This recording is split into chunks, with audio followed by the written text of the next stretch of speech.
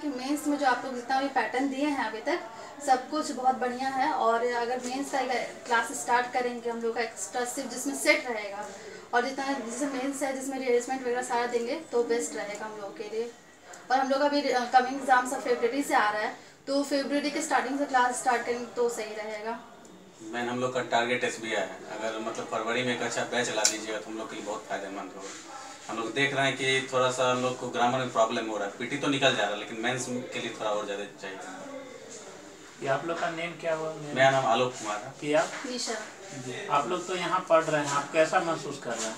यहाँ पर हम लोग अभी तक जितना भी पढ़े हैं अभी तक जितना क्लासेस हुए सब पीटी के लिए एकदम परफेक्ट है। जितना भी हम लोग को टेंस वगैरह जितना भी हुआ है जितना भी हम लोग क्वेश्चन अटेम्प्ट कर पा रहे हैं अभी थर्टी क्वेश्चन इंग्लिश में था जिसमें मुझे लगता है कि मैं ट्वेंटी एट अटेंड की हूँ। और जितना टेंस वगैरह सब बेस्ट है उसमें बस हम लोग को मेंस के लिए थोड़ा और एक्स्ट्रा चाहिए। बहुत अच्छा।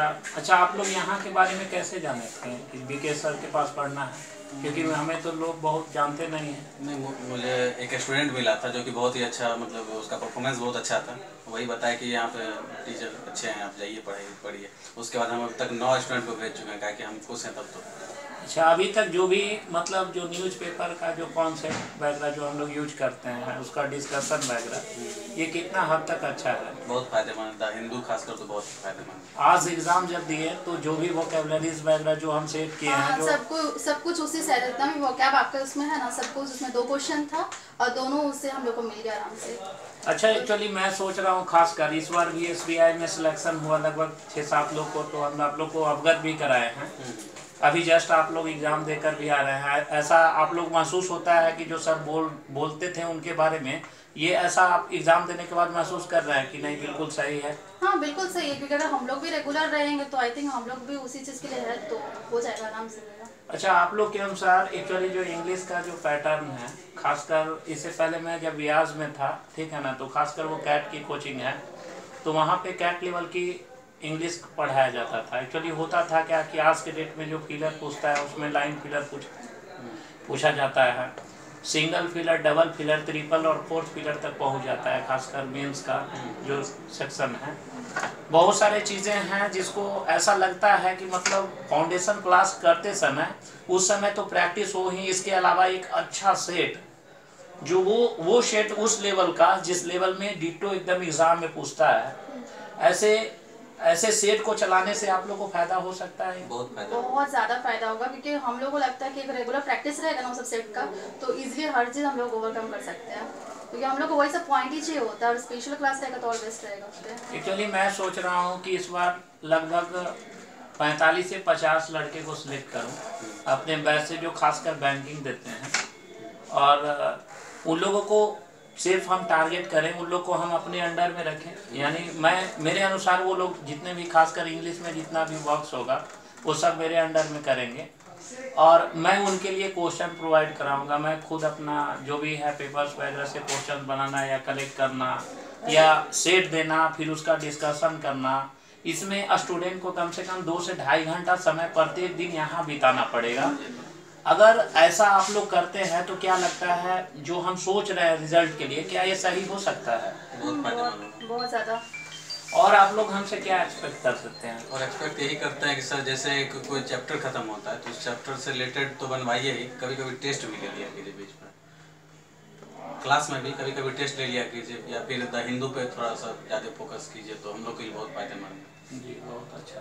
अच्छा हिंदू का जो अभी फ़िलहाल जो हम लोग वर्ड वगैरह जो दिए हैं वो कितना हद तक काम कर रहा है? बहुत ज़्यादा बहुत ज़्यादा। हम लोग को सेम इसी चीज़ इसी चीज़ को तो उठा करके वो उसमें क्लोज टेस्ट हाँ में डाल देता है या हो गया डाल या देता है। रेजिमेंट हो गया सब कुछ इसी से आता है इस- है। इसका मतलब है कि ये जो हिंदू न्यूज़पेपर का अभी भी हम लोग का क्लास चलता है मतलब क्लास में फाउंडेशन के साथ जो करवाते हैं इसका डिस्कशन के साथ साथ अगर ये सोचे कि वही हिंदू पेपर से आप लोग के सामने कि देखिए आज इसका डिस्कशन हुआ तो किस तरह से ये खासकर एडिटोरियल का सेक्शन से किस तरह से क्लोज टेस्ट बनता है, वो आप लोग के सामने अगर दिखाया जाए कि देखिए ये है और यहाँ ऐसे क्लोज टेस्ट हम उसको तैयार कर दें और उसके बाद ठीक अगला दिन उसका अगर डिस्कशन कर ले तो ये शायद आपके लिए अच्छा हो सकता है क्या? हाँ बहुत ज़्यादा अच्छा होगा क्योंकि मैक्सिमम जो होता है ना कवर करता है सब द हिंदू से ही होता है। अगर वैसा होगा तो बहुत ज़्यादा हम लोग को बेनिफिट होगा।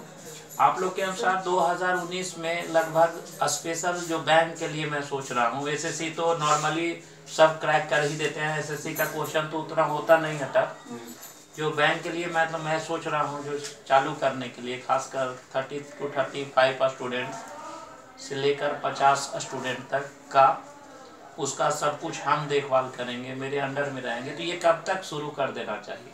मुझे लगता है आपको फरवरी से कर देना चाहिए उसके हम लोग का एसबीआई का वैकेंसी आ रहा है। क्योंकि कम से कम दो महीने का दो महीने की तैयारी हो जाएगी तो अप्रैल मई में एग्ज़ाम होगा एस बी और हम लोग का मेन टारगेट एस बी आप लोग कितना दिन से तैयारी कर रहे हैं? इससे पहले भी कहीं पढ़े होंगे? मतलब जो भी है कोचिंग का नाम नहीं तो कहीं तो तैयारी तो दो साल से हम लोग तैयारी कर रहे हैं दोनों साल से पीटी हो रहा है मेंस में। मेंस भी दे रहे मेंस हैं भी हो रहा है इंटरव्यू तक में छट जा रहे हैं या फिर मेंस में कम मार्क्स आ रहा है इंग्लिश में। इंग्लिश का ये मैटर कर जा रहा है वहाँ पे। बाकी सब सब्जेक्ट तो ठीक है इंग्लिश में थोड़ा दिक्कत हो रहा है। मतलब फाइनली आप लोग मेंस में कहीं ना कहीं कुछ नंबरों से छूट जा रहा है। इंग्लिश में। इंग्लिश में। है ना? खासकर इंग्लिश में। अच्छा यहाँ जुड़ने के बाद ऐसा महसूस करते हैं कि अगर ऐसे ही हम लोग चलते रहे तो अच्छा हो सकता हाँ है। अगर अलग से अगर आप सेट देते हैं हम लोगों को तो वो बेस्ट रहेगा। थोड़ा इसमें इम्प्रूवमेंट की ज़रूरत है। बहुत अच्छा ठीक है। आप लोग से